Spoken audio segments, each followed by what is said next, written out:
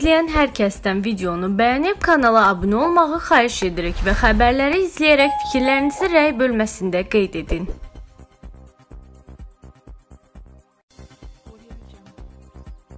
Rusiya, Azərbaycan və Ermənistan dövlətlərinin rəhbərləri tərəfindən plan mənim fikrimcə tarixi bəyanat qəbul ediləndən sonra o qədər də çox vaxt keçməyib. Lakin sülhməramlı kontingent, sülhməramlı qüvvələr müəyyən edilmiş mövqeləri tutublar. Yəni orada 23 post var. Yeni Sabah xəbər verir ki, bunu Rusiya Federasiyasının Müdafiə naziri Sergey Shoygu Azərbaycan Respublikasının prezidenti İlham Əliyevlə görüşündə deyib. O bildirib ki, təmas xəttində təhlükəsizliyi təmin etmək üçün magistral tərəfdə yerləşən bu postlar nəzarətə götürülüb. Köçkünlərin qayıtması başlanıb. Əlbəttə, nizamlanmış bütün işlər bu gün öz nəticələrini verir. Bu müddətdə ola bilsin nadir istisnalarla hesab edirik ki, əhəmiyyətsiz atışmaları nəzərə almasaq, atəşkəs rejiminə riayət edilir və mən əminəm ki, bundan sonra da belə olacaq.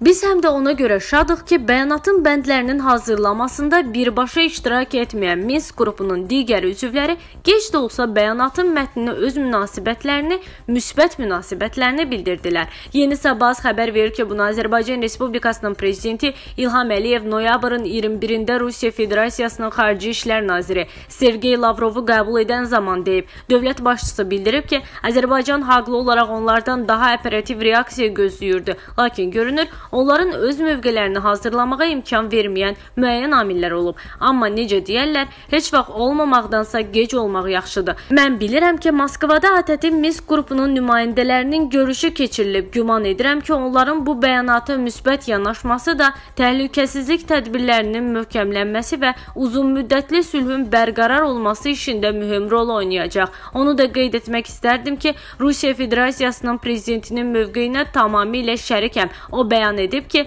bundan sonra Dağlıq Qarabağ münaqişəsi söz birləşməsini daha eşitməyəcəyinə ümid edir. Mən də bunu daha eşitməyəcəyimi ümid edirəm. Ümid edirəm ki, Dağlıq Qarabağ barədə danışanda yalnız inkişafla, müharibənin nəticələrinin aradan qaldırılması və vaxtı ilə öz aralarında düşmənçilik etmiş ölkələrin barışması ilə bağlı xəbərlər eşidəcəyik.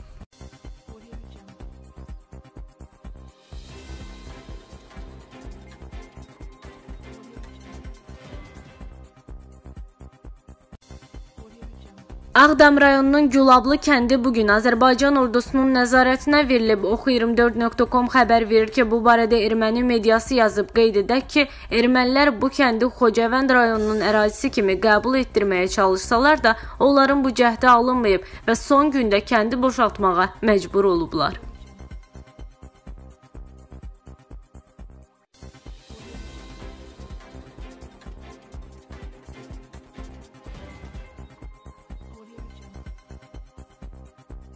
On noyabr sülh anlaşmasından sonra köçkünlər tədricən evlərinə dönürlər. Son bir həftədə 5 mindən artıq köçkün Qarabağa qayıdıb. Bəs geri qayıdıb Qarabağda yaşayan ermənilər hansı pasportla hərəkət edəcək? Oxu24.com xəbər verir ki, Daily nəşri bu suala politoloq İlqar Vəlizadəyə müraciət edib. Politoloq cavabında bunları deyib. Rusiya sülh məramlarının yerləşdiriləcəyi ərazilərdə Azərbaycanlı məcburi köçkünlər ermənilərlə birgə dinç şəraitdə yaşayacaq. Onların hər birinin hüquqları Azərbaycan konstitusiyası ilə qorunacaqdır və burada yaşayacaq ermənilər qanuna uyğun şəkildə Azərbaycan pasportu alacaqlar. Çünki Azərbaycan əraziləri olan Dağlıq Qarabağ həmçinin Azərbaycanın nəzarətindədir və bu torpaqlarda başqa ölkələrin pasportu ilə yaşamaq tamamilə qəbul edilməzdir.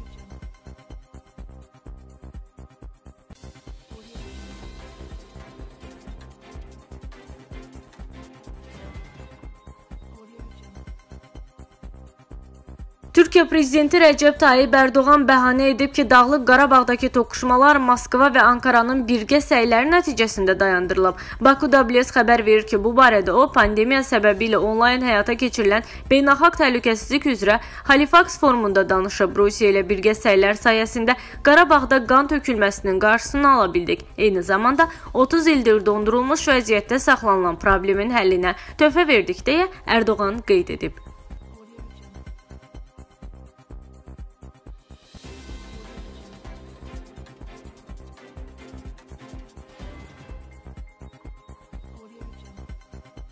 27 ildən sonra Ermənistanın işğalından azad edilmiş Ağdam rayonunun Cümə məscidi elektriklə təchiz olunub. Baku WS xəbər verir ki, bu barədə sosial şəbəkədə görüntülər yayılıb. Qeyd edək ki, ötən həftə Şuşa şəhərindəki Gövhərağa məscidinin də işıqlandırılması baş tutmuşdu.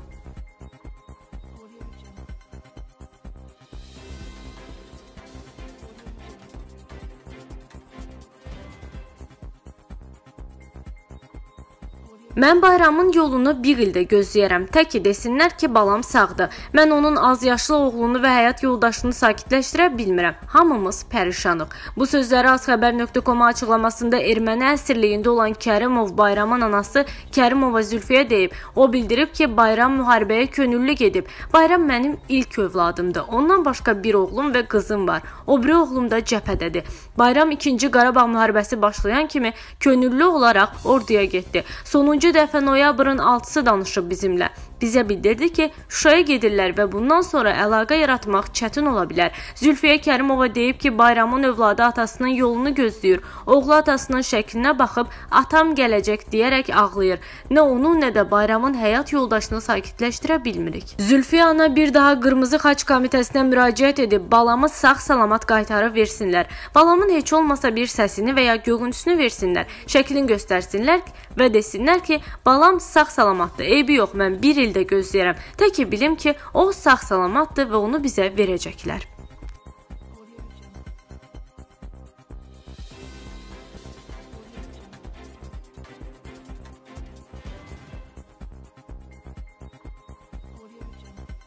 Çox sadə səbəbdən müxalifətin mitinqlərində iştirak edə bilmirəm. Aksiyanın başlamasından saat yarım əvvəl məni dindirməyə çağırırlar. Bu barədə çiçəklənən Ermənistan partiyasının lideri Qagik Sarukyan bildirib. Onlar hər şeydən daha çox Sarukyanın xalqla görüşə biləcəyindən qorxurlar. Amma Sarukyandan qorxmaq lazım deyil. Onlar öz siyasətlərindən qorxmalıdırlar. Qarabağ müharibəsində biabırçı məğlubiyyətlərindən qorxmalıdır deyə müxalif siyasətçi qeyd edib.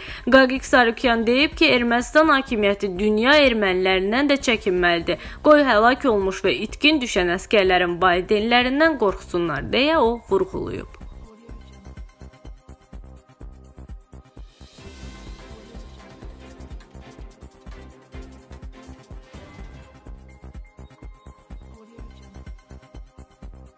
Azərbaycanlı məcburi köçkünlərin Qarabağa qayıdışı gələn ildən başlaya bilər. Bunu reportun Rusiya bürosuna açıqlamasında Rusiyalı politoloq Sergey Markov deyib.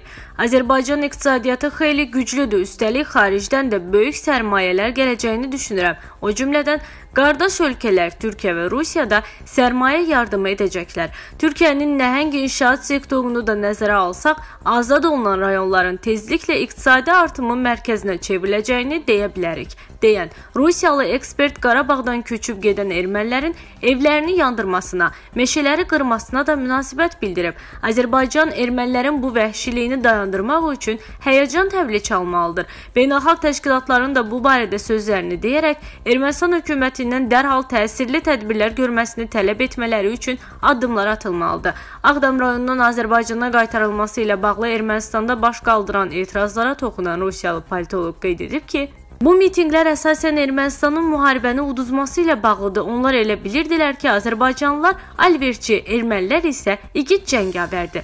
Amma həmin igid cəngavər döyüş meydanından dovşan kimi qaçdı. Odur ki, Ermənistan ictimaiyyəti şokdadır. Təbii ki, belə şeyi qəbul etmək çox çətindir. Amma gec-tez bunu qəbul etməli olacaqlar.